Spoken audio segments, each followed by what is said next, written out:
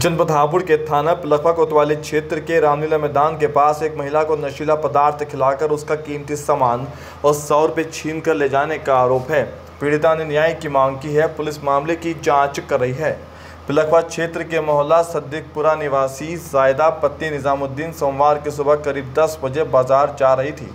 रास्ते में उसे दो अनजान व्यक्ति ने रोक लिया, जो बातों में बहला फुसलाकर उसे रामलीला मैदान के पास ले गए, जहाँ पानी में नशीला पदार्थ पिलाकर महिला को बेहोश कर दिया और आरोपी उसका कीमती सामान लेकर फरार हो गए। इस दौरान महिला के पास सौ रुपये थे, जिन्हें आरोपियों ने छीन लिया।